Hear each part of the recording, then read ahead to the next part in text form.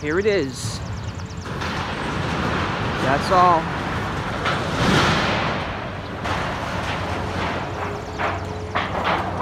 Gazette Net, the march.